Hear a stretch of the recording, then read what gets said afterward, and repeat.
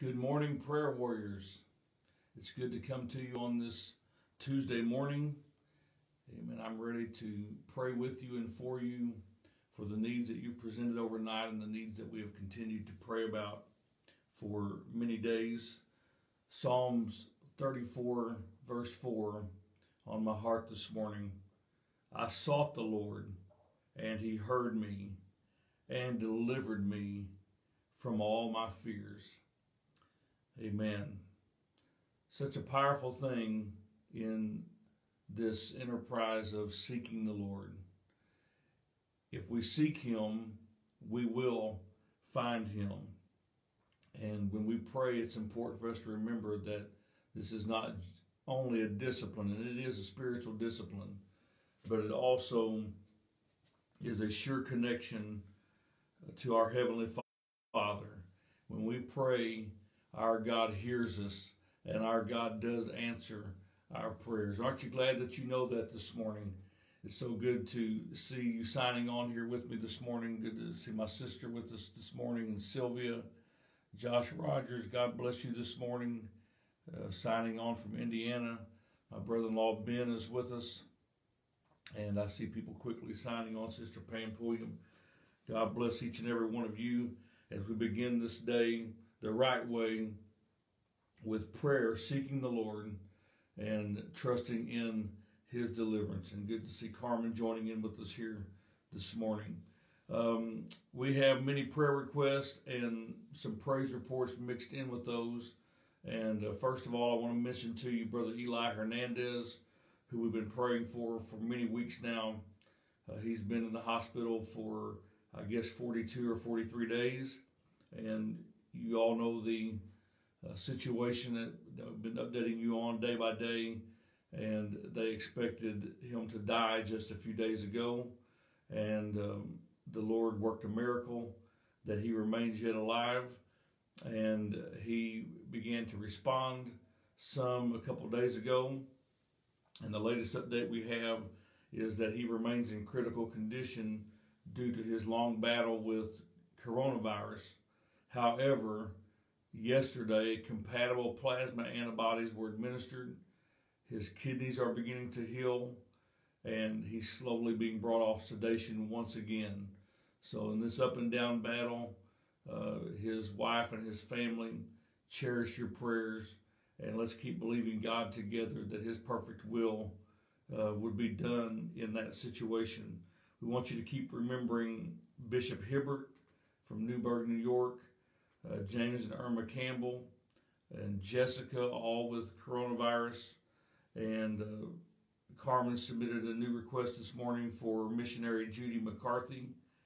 Uh, her mother, her father, and her sister all are battling coronavirus. Uh, her mom and sister are making good progress, but her father has other health issues and is really struggling right now as his body is not fighting the disease in the same way as the others. And so let's hold that family up in prayer this morning. We want to pray for protection for all of the essential workers and all of the quote unquote non essential workers. Like I said, I don't really like that term. I like the way Governor Parson articulated it when he reopened Missouri. He said all businesses are essential businesses in Missouri. And of course, we know what they're saying. We're talking about people that when there's shelter in place orders, they they cannot observe that because they have to go out on the front lines. Um, but yet, um, we understand that there, you know, the economy, the uh, drawing a paycheck, all that is important to each and every one of us. And we want to pray for all of our workers today, and especially those on the front lines, believing God for a full economic recovery. We know the answer is not in policy, although it helps to have good policies have policies that are directed with wisdom from God, but ultimately we must trust in the Lord for the answer to these complex situations, and we're doing that. And that's why we can have such great confidence, regardless of what the great economic minds project. We know our God is able to intervene. So let's pray for wisdom and guidance for our president today and for all those working with him, uh, our leaders in government today um, that God would move upon them and direct them in Jesus' name. We want to pray for an ease of, of the strain on our healthcare system, and I believe that's beginning to happen. Uh, we want the supply chain to remain intact. Pray for our truck drivers and and our grocery store workers and all those that are that are working so diligently uh, to keep things uh, going. We want to pray for um, the reopening of our different states, all on different timelines, all unique situations. We want to pray that as that happens, there would be no resurgence of this virus and uh, continue to pray for developments in the area of vaccine and treatments. And there's very promising things there, but um, I believe the Lord is bringing us through this. We're not, never going to be the same because that's not God's intention. And if you um, if you want to know more of uh, what God has shown me in that regard, you ought to go back to our church webpage and watch uh, this past Sunday's sermon, Forming Another Vessel. And I believe that will help you with your perspective. Tara is requesting special prayer for her friend Beverly today. Beverly is one of those battling cancer that we've been praying for daily. She's going uh, into the hospital today and will be having surgery tomorrow. So let's remember her, especially today in prayer. Sylvia needs our prayers. She's very stressed out due to issues going on with her sons, and we know the Lord's able to help her today. We want to continue to pray for Adam Lane. He's on dialysis and on a respirator due to a sudden illness. This is not a coronavirus, but this is something possibly relating to underlying pancreatitis, and he just developed all kinds of snowballing issues and is now battling C. diff infection as well. So his family needs our prayers and um, our encouragement today as well. Jonathan Tucker's needing to go back to work. Elizabeth Riggins needs a miracle in her job situation. Brother Tom Arnold's mother is in stage four kidney failure, so we want to remember her today. We want to pray for comfort for uh, Brother Carlton Coon and his family during their time of grief and loss due to his father's passing. We want to continue to pray for Ben and Star today as they're dealing with structural damage to their home from the severe storms that came through here on Sunday uh, and the tree that toppled onto their house. And uh, let's just pray for God's help with the insurance matters and all that that's going on right now. Marcia Moore and Pam Pulliam need our continued prayers for their children. And I know they appreciate so much your faithful prayers for, for them and for their families. Pam Bunch is asking for us to continue to pray for her father in law who's battling cancer and for her mother who has stomach issues. And we're believing God for good reports as we continue to pray in Jesus' name um, and intercede for the answers. We have so many with physical needs, ongoing afflictions, and battles that they're dealing with.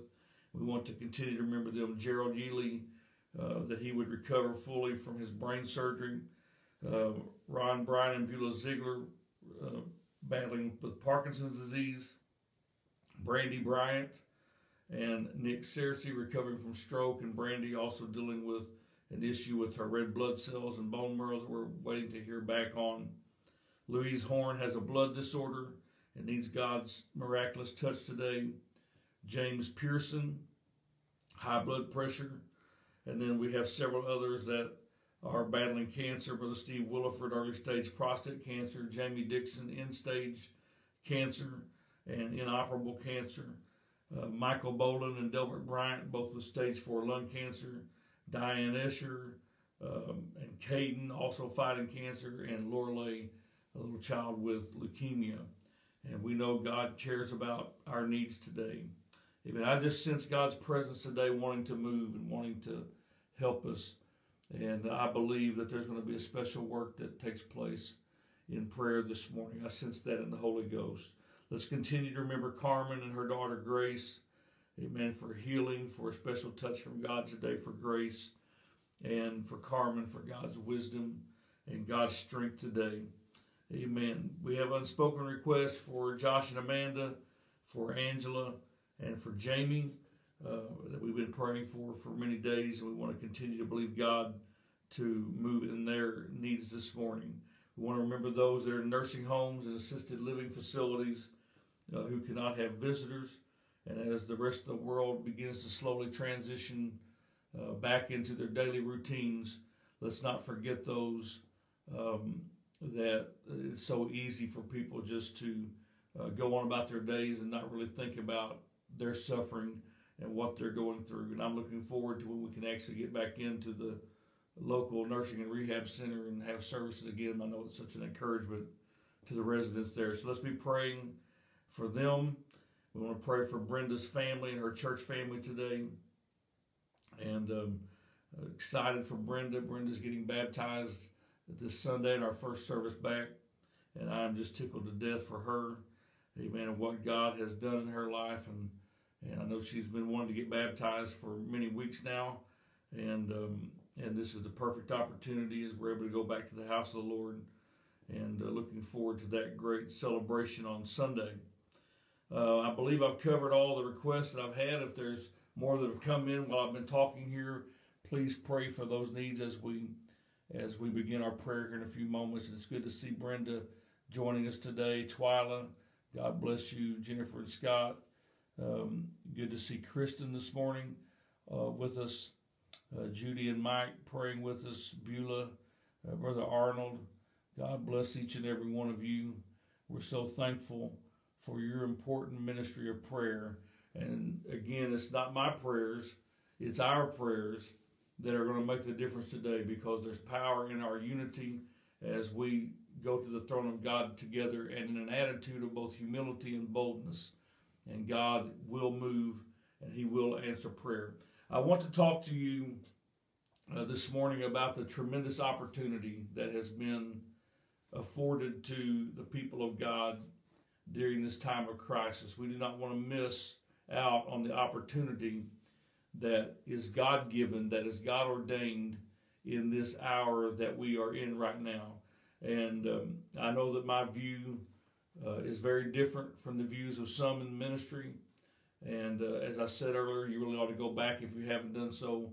Listen to the message that I preached at Greater Vision this past Sunday and you will see the details of, of my perspective, what I feel that God has shared with me, and that will help you. But but kind of springboarding off of that and continuing in that vein of thought, I want to talk to you about this great opportunity that we have and that we must not squander uh, as the people of God uh, at, that have come to the kingdom for such a time as this. The Chinese word for crisis is composed of two characters. We know that their language is is a, a pictorial language, and there's two characters there. One is, and uh, obviously I don't speak Chinese, so I'm just going along the best I can. I know that every word is based on inflection, and I don't know the inflection, so um, I don't want to insult anyone that speaks the language today.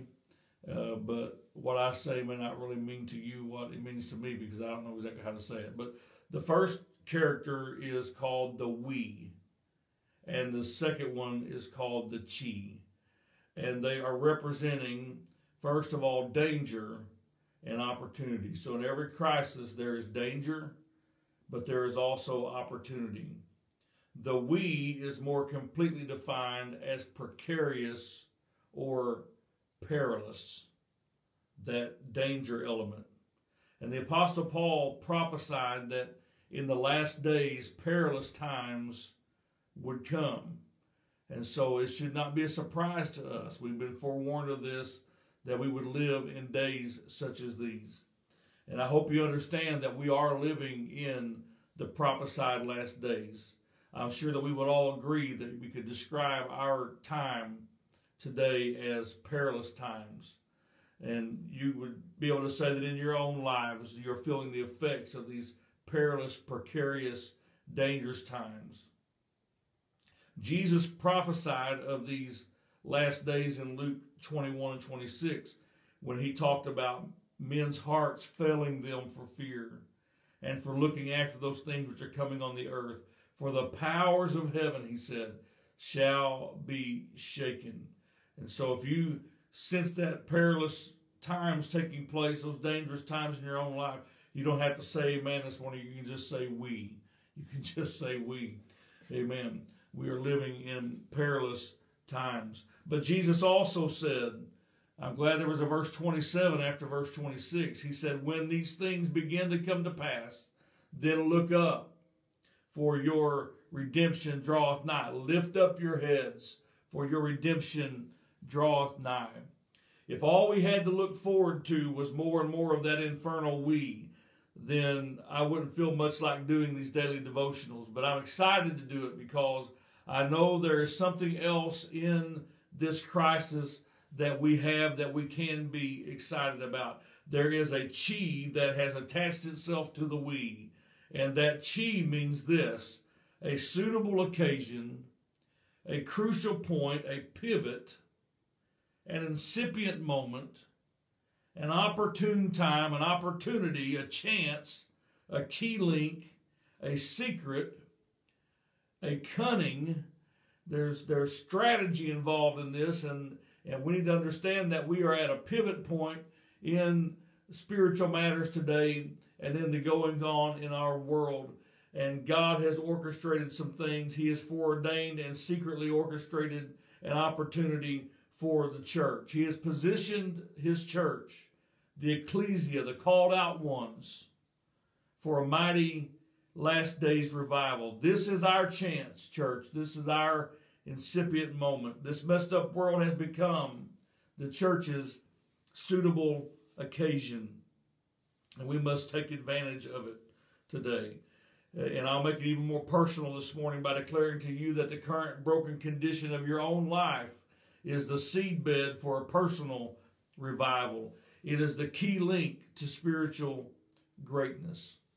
I was reading last night in Nehemiah chapter 2 and just reflecting on the story of Nehemiah and how he was living in captivity.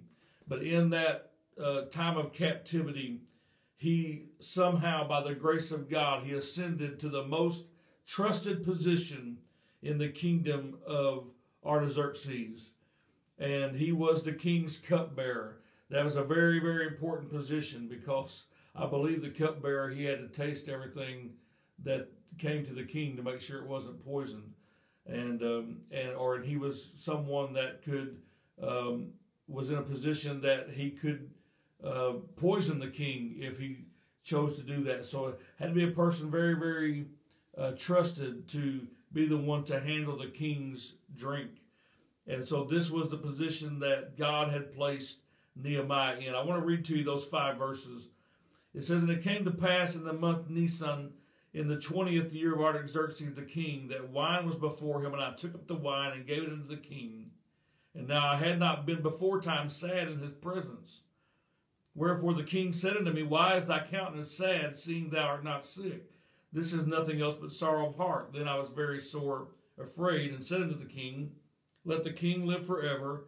Why should not my countenance be sad when the city, the place of my father's sepulchres, lieth waste, and the gates thereof are consumed with fire. Then the king said unto me, For what dost thou make request? So I prayed to the God of heaven, and I said to the king, If it please the king that thy servant have found favor in thy sight, that thou wouldest send me unto Judah, unto the city of my father's sepulchres, that I may build it. Now I want to point out to you this morning that uh, Nehemiah and his fellow captives had no doubt talked to one another about this dream of rebuilding Jerusalem many times. It, it seemed like an impossibility. And no doubt it was the subject of much wistful discussion around the dinner table. But we need to understand that we do not just have favor with one another, but we have favor with the King. Amen. And God is able to orchestrate things that we could never imagine. Matthew chapter 7 verse 7 through 11, Jesus said, Ask and it shall be given you. Seek and ye shall find. Knock and it shall be opened unto you. For every one that asketh receiveth, and he that seeketh findeth, and to him that knocketh it shall be opened. And I don't want you to ever get the impression that we're just knocking on random doors. It's not like when you go out on visitation to invite somebody to church and and you bark you knock on one door and you hear a vicious dog on the other side of it and and you're wishing you didn't knock on the door and you, you don't know what's behind any of the doors. We know that we're knocking on heaven's door. We know that we are asking our Heavenly Father. And so when we're asking, uh, we, we can trust that it will be given. When we seek, we know that we will find. And I'm not just speculating that because he goes on in verse 9 through 11 and lets us know who we're asking of. He says, What man is there of you whom if his son asks bread, will he give him a stone? Or if he asks a fish, will he give him a serpent? If ye then, being evil, know how to give good gifts unto your children, how much more shall your Father which is in heaven give good things to them that ask him? So understand, we are asking of the Lord today, and we know that He's the one who has given us this opportunity. When Ezekiel was carried by the Spirit into that valley of dry bones, it was a moment that was orchestrated in crisis. It was orchestrated by God Himself and facilitated by God Himself. And He put him there and He helped him to see the opportunity. He saw the crisis, He saw the dry bones, He saw the loss of hope, He saw the hopeless situation, if you will. But then God began to speak to him, and God began to tell him to prophesy upon those bones. And then, after first prophesying to the bones, to the dead situation, he said, Now I want you to prophesy to the wind.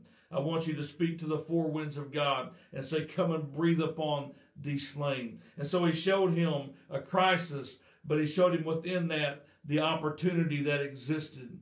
Amen. The hand of the Lord was what carried him out there uh, into that valley. And whenever he saw that in verse 3, the Lord said to him, Son of man, can these bones live? In other words, can you see the opportunity in this valley of death and hopelessness? And he commanded him to begin to prophesy upon those bones and then to prophesy unto uh, the Spirit. Amen. To prophesy to the four winds. And that's what we're doing this morning as we go to prayer. We're taking advantage of the knowledge we have of divine opportunity. It's not just a, a bad situation, but there's much good that's coming out of this today as the people of God do their job, amen, of, of essential work for the kingdom of God through prayer this morning. And uh, I believe God has great things. As we go back to church services here locally this weekend, there's opportunities present. Amen. God is going to minister in people's lives in a great way. There'll be people there uh, who have not considered church much for, for a long time, but they're coming back, and God is going to move in their lives in that service. We need to be ready to take advantage of this great opportunity that we have. It's not danger only that we're in, it's not perilous times only, but these are exciting times for the people of God. And so, would you this morning, would you just direct your attention with me? And we're going to prophesy upon these bones today. We have a lot of bones in front of us. We have a lot of, of dead situations, a lot of discouraging things if we look upon it in the natural. But we're going to prophesy upon those bones the Word of God today. And then we're going to turn our attention, amen, to uh, the throne of God and pray for His Spirit to move in every need today. And we know that God is going to do that in this present crisis. Would you go to the Lord with me in prayer right now? And let's just ascend into his throne room with praise and with thanksgiving. Hallelujah. Lord, we're thankful today for your mercy and your grace. We're thankful for your goodness. Hallelujah. There's no one like you, Lord.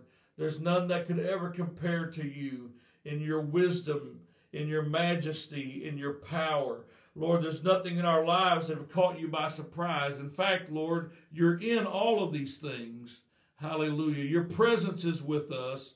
And God, you have set some things up in our lives that appear to be terrible, but they're just miracles in the making this morning. And we want to give you thanks and praise and, and just let you know this morning that we do trust in you and God, that we do know that you are on the throne this morning, that we do know that you're in control. Hallelujah. And we do know and realize, God, that, that you care for us. And God, you want to minister in our needs today. Hallelujah. We thank you, Lord, for being who you are in our lives. And we give you glory and honor. We love you, Lord. Would you just take a moment, prayer warriors? Would you just adore him? Let's just love him. I want you to think of your blessings this morning. God, I thank you for your salvation that's so full and so free. I thank you, God, for saving me, Lord, from the uttermost. Hallelujah. I thank you for loving me when I was unlovable. I thank you, God, for reaching down further than I could ever reach up. Hallelujah. Making up the difference in my life. I thank you, God, for infusing me with fresh hope. I thank you for the peace that you give. I thank you for the sacrifice of Calvary that's made the difference in my life. Oh God, I would be lost and undone today because there was nothing I could do in and of myself to earn salvation. But you brought it to us, God. Hallelujah. I thank you for your precious blood. I thank you, Lord, for your sacrifice, for that ultimate sacrifice so that we could be redeemed. I thank you for pouring out your Holy Spirit, Lord, in our lives. I thank you, God, for directing us day by day and for giving us your word, Lord, that we can walk in, we, that we can walk in the light, that we can understand that you are in the word, you are in that light, and you are directing our paths. I thank you, God, that we can have fellowship one with another because of your precious blood that covers us, and that we can have fellowship and communion with you this morning. Oh, we give you praise. We understand, Lord, that we're a privileged people today because we can come into your throne room. Hallelujah. With boldness. Uh, we can seek you in our time of need. And when we seek you, Lord, you always answer. We give you praise. Hallelujah. Hallelujah. We love you, Lord. And we continue to pray, Lord, for all these that are struggling with the effects of coronavirus, Lord. We pray for Brother Eli Hernandez. We thank you for the miracle that you've worked in his life, uh, this ongoing miracle. And we pray, God, that you would be glorified in this situation. We pray, God, that he would continue to be restored today. Hallelujah. Let your power, let your healing virtue flow today and continue to flow into his body.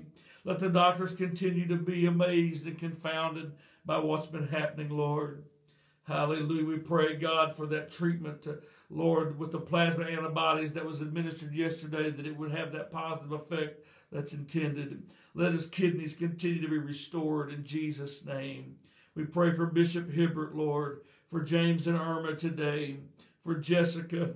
We pray for uh, Miss Missionary Judy McCarthy's family, for her mother and her father and her sister. Lord, as they're all battling coronavirus this morning, we pray especially, Lord, for her father who's struggling so much right now against that disease.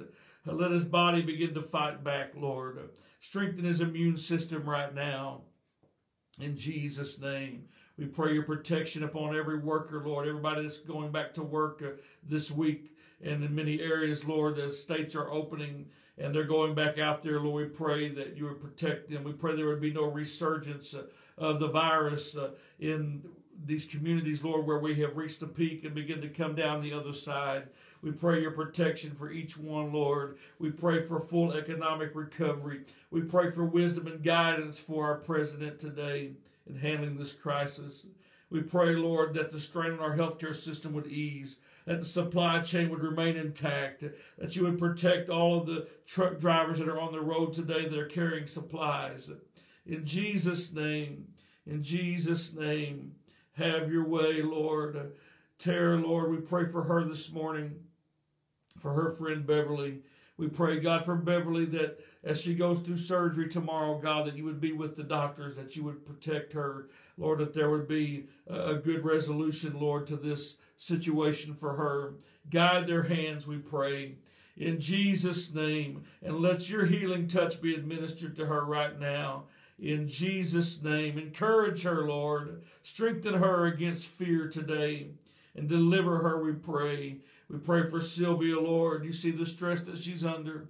And we just pray, God, your strength upon her right now, Lord, that you would touch her mind in this moment. God, that you would give her peace in this situation and give her direction. We pray for Adam Lane today, God. We believe you for healing in his body.